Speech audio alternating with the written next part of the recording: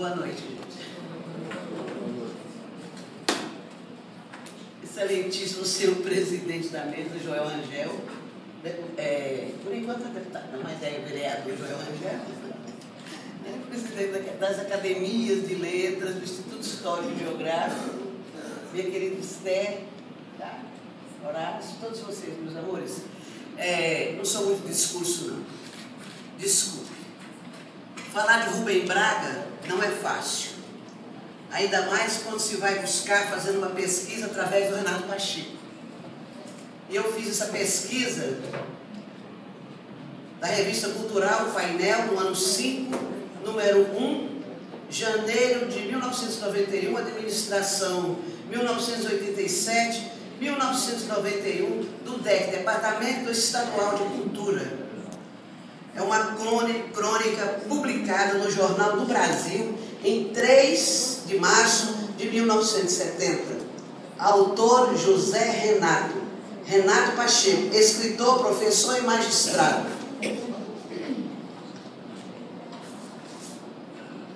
Só peço a vocês um pouco de paciência. E como falei, para falar algo de Rubem Braga, por mais que resume, pois bem, eu fiz uma Releitura poética biográfica de Rubem Braga, nascido em 1913 e falecido em 1990. Cronista capixaba. No ano 1913, dia 12 de janeiro, nasceu o grande cronista Orgulho de Cachoeiro, que é do Itapemirim, no estado do Espírito Santo, seu valor é pioneiro. Francisco Carvalho Braga, seu pai tabelião, também sua mãe querida Raquel de Cardoso Braga, em seus laços de união, presentearam esse Estado e toda a nossa nação. O Rubem Braga, o cronista, estudioso, dedicado, literato, grande artista, querido e muito respeitado, estudioso e capaz, que desde a mais terra infância queria saber bem mais. Foi aos 19 anos, mesmo no auge da mocidade, que direito se formou na capital das Gerais, onde ele muito estudou e na função estudada ele jamais trabalhou. Mas tudo que ele aprendeu foi útil ao grande escritor. Muito jovem, Rubem Braga, e veterano leitor, com toda dedicação, empenhou-se ao jornalismo junto a Armando, seu irmão, proprietário do Correio do Sul, lá de Cachoeiro, Vivendo nesse meio, fez crônicas e reportagens, comentarista político, ao seu voo bem ligeiro, indo para outras paragens. Com várias publicações, BH, Rio de Janeiro, Recife, também São Paulo, este grande pioneiro das suas crônicas e ações, muitas vezes discorria do lirismo à ironia.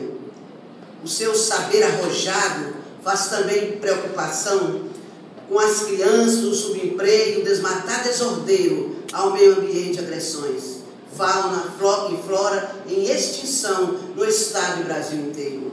Nacionalmente conhecido, cronista muito respeitado, amigo de Mário de Andrade e de Alcântara Machado. Em 1932, relatou fontes de guerra de forma justa altaneira daquela revolução na Serra da Mantiqueira da FEMED lá na Itália, sem temor à repressão. 1945, onde enviaram as trincheiras os pracinhas brasileiros que lutaram com afinco e com determinação, representando a coragem dos heróis dessa nação. 1936, reuniu as melhores crônicas, com desvelo e com carinho, selecionou dessa vez dez títulos dos mais diversos, e seguindo este caminho, lança o Conde o Passarinho. E o Morro do Isolamento, 19, 4 e 4, criando a todo momento. 19, 4, 8, escreveu um pai pé de milho, 19, 4, 9, com escritos de Esmiro e Brilho. Segue o incansável cronista, lançando então o Me Roubo, mais uma obra do artista.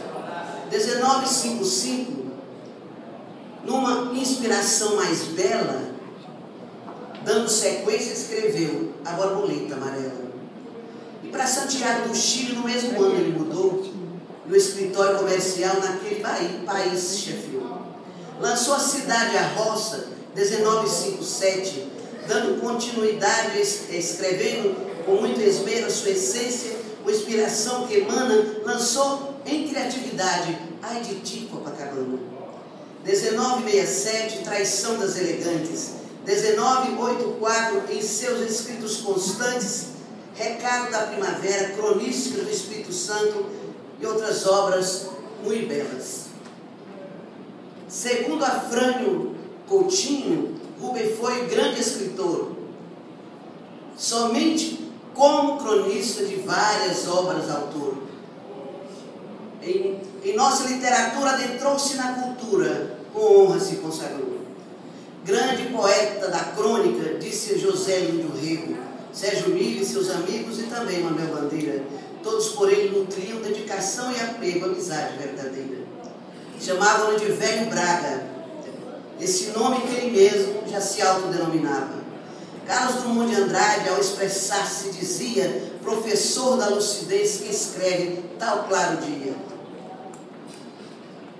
o qual, sem nenhum favor, foi o colonista brasileiro e o mais famoso escritor. Seus contos, os mais diversos, falam do cotidiano, bondes, árvores, pescarias e das estações do ano. Visão humana dos fatos, moças e o subemprego, também do liberalismo versando ao aconchego. Da ironia ao lirismo, gente humilde, funileiros, também do liberalismo, maratimbas e os carteiros, que, re, que responsáveis e ordeiros trazem e levam notícias, esses fiéis mensageiros.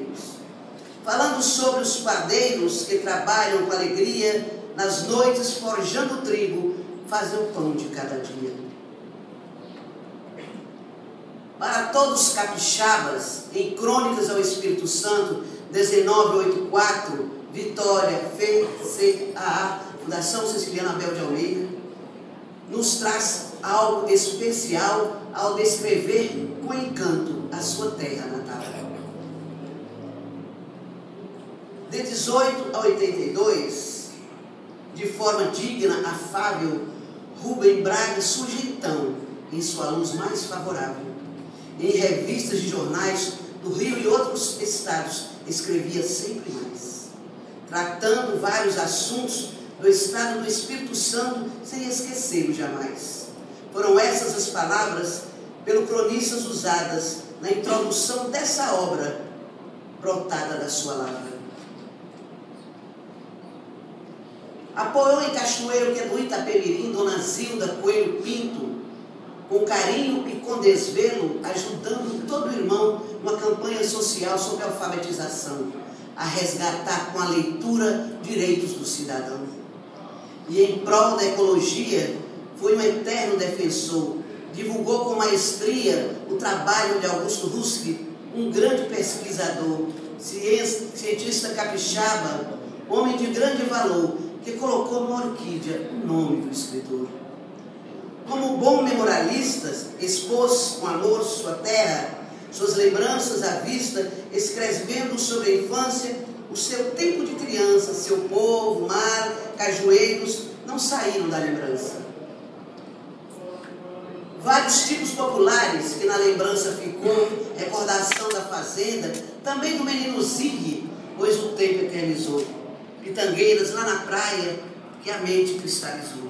Fábrica de pios de caça de um parente bem querido, feitos com esmero e graça, pios de belo polido, com trinado afinado, eram feitos com carinho e por muitos procurado. Era um trabalho buscado do artesão ao comprador, por muitos valorizado, vindo das mãos do inventor. Parte dessa obra é um contrato que Rubem Braga, cronista, junto ao Hector Bernabó, conhecido Caribé, das artes plásticas artista, na Bahia radicado, empenharam-se de fato. Em 1954, juntos ao governador Dr. Jones Santos Neves, essa obra projetou com ilustrações muito belas, feitos com primor e encanto descrevendo o Espírito Santo. mas devido ao candidato Eurípides de Aguiar Salles, doutor Jones, haver indicado para ser governador, no pleito foi derrotado. Todo esse empreendimento, então, não, não concretizou. Daí surgiram as crônicas sobre Meiaípe, Cunha, Rio Doce, navegação, Noroeste pioneiro, italianos, alemães, animais em extinção e o desmatar desordeiro. Suas letras discorriam com a maior perfeição sobre São Gabriel da Palha, bandas de congo e cacau, cultura do seu torrão, comércio de São Mateus, também conscientização. Foi visita ao amigo que escreveu Carlos Nejar, pois ao iniciar nas letras foi ao Braga visitar, lá no Rio de Janeiro, junto ao Fernando Sabino, na editora Sabiá. Após um fraterno abraço, no recepcionar, viu ali uma estatueta de bronze lá sobre a mesa, pois então admirar. Rubem disse: Leva, é tua. Quis logo ali agradar. Carlos Nejar contestou, mas o Baga foi insinuando. Diz: Leva, é tua, completou. Naquele jeito só seu. Ela é muito, muito amiga. Será uma boa companheira, pois é silenciosa